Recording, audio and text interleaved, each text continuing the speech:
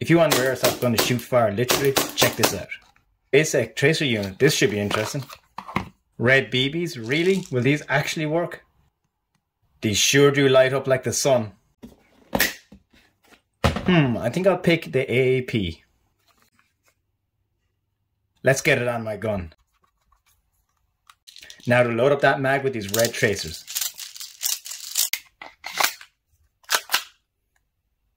Let's shoot some fire.